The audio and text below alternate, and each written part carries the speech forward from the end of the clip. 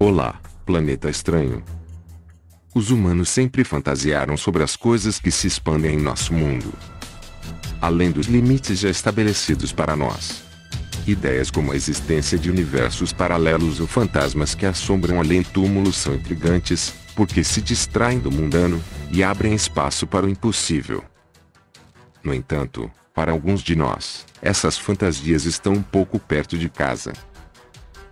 Um homem, Albelec, afirma que viajou no tempo para o futuro. Quando ele voltou, ele tinha muito a compartilhar, e também uma mensagem incrivelmente urgente para nos dar. Bem-vindo ao mundo dos mistérios, a casa do conhecimento.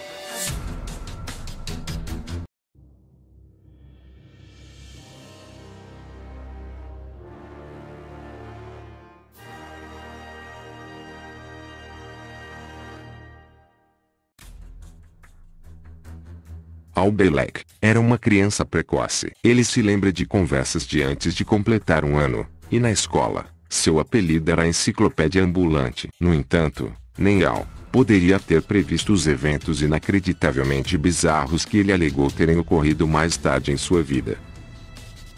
Segundo Bielek, tudo foi posto à prova quando ele viu o filme, O Experimento Filadélfia, um filme sobre um projeto secreto conduzido pela Marinha que enviou dois marinheiros para 40 anos depois. Depois disso, Bielek começou a ter sentimentos estranhos.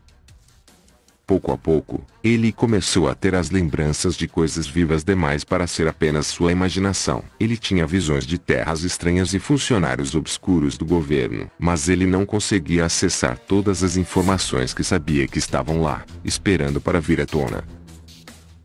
Belek decidiu que tentaria alguns tratamentos da nova era para ajudar a recuperar sua memória. Com certeza, os tratamentos finalmente funcionaram, e o homem teve que lidar com algumas revelações bastante surpreendentes.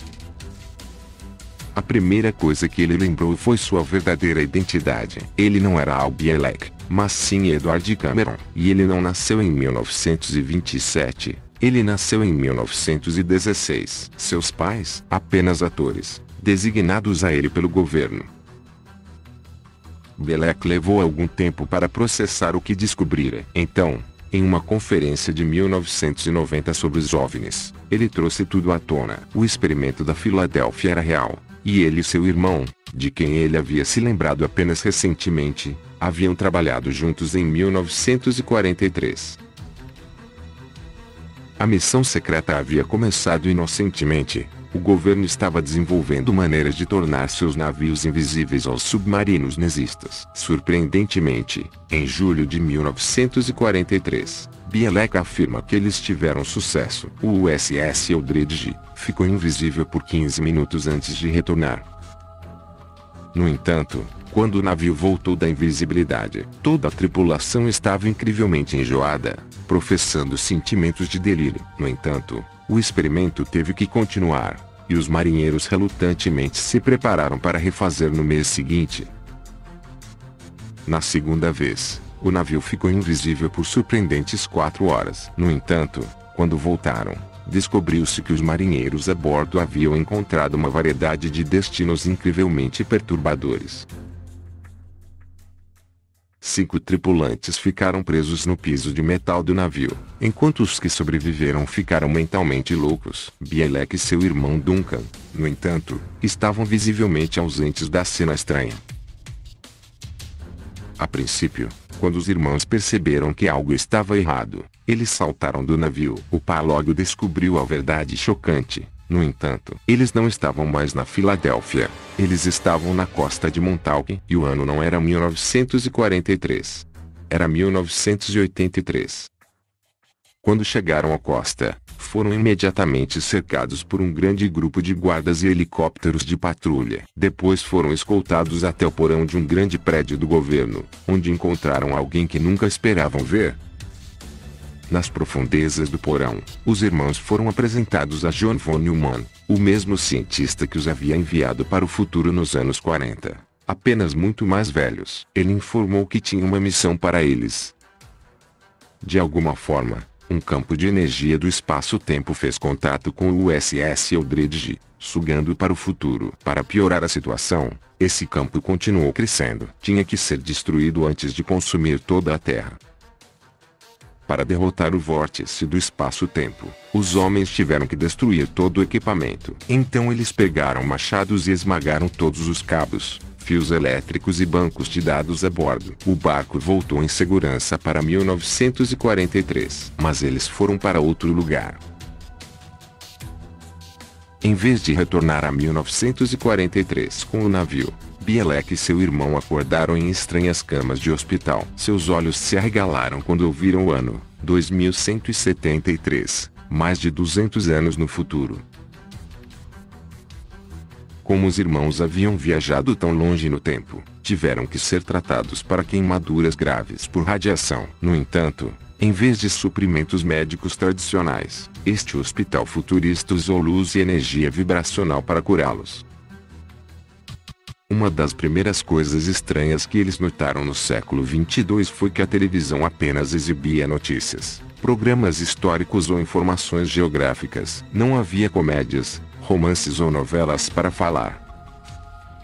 No entanto, Assistir às notícias lhes ensinou muito sobre o estado atual do mundo. Por um lado, os Estados Unidos haviam perdido uma grande quantidade de massa terrestre, incluindo quase toda a Flórida. Mais dramaticamente, agora era um estado militar.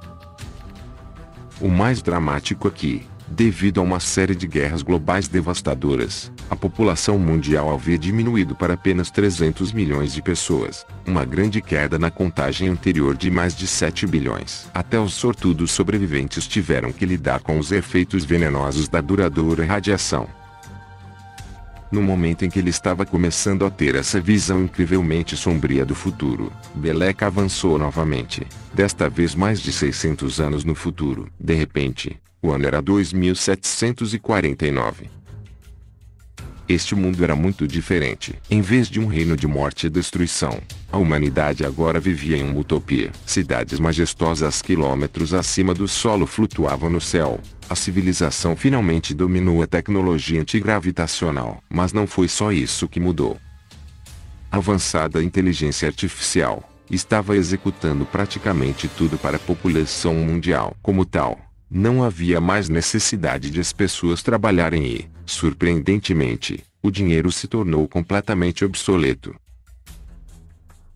Além disso, o planeta parecia ter aprendido com seus erros anteriores, as guerras agora antigas que causaram estragos completos no mundo natural. Nessa nova realidade, a guerra era praticamente inexistente, pois todas as nações haviam concordado em desmantelar suas forças armadas.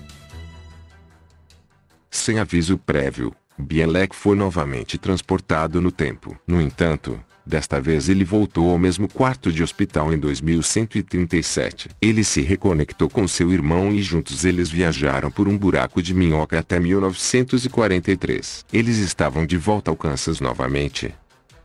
Na década apropriada, Bielek continuou a trabalhar no USS Eldridge até que, eventualmente, o governo percebeu que sabia um pouco demais sobre suas operações secretas. O que eles fizeram em seguida para silenciar Bielek eram coisas de pesadelos. O governo decidiu descascar o viajante sobrenatural, enviando de volta no tempo para renascer no ano de 1927 sob uma nova identidade com uma nova família. Se a história dele parece inacreditável, você deve saber, esta não é a primeira instância relatada de viagem no tempo. Não por um tiro longo, Embora você possa ter encontrado cartomantes em um parque de diversões ou calçadão, esses clarividentes tendem a fazer previsões incrivelmente vagas que se aplicam a qualquer pessoa e não podem estar realmente erradas. O que vocês acharam desse assunto? Deixe abaixo o seu comentário. Para mais notícias do mundo dos mistérios, aguardem as próximas novidades. Se você gostou, deixe aquele joinha para ajudar o canal. Compartilhe nas suas redes sociais. E não esqueça de inscrever-se.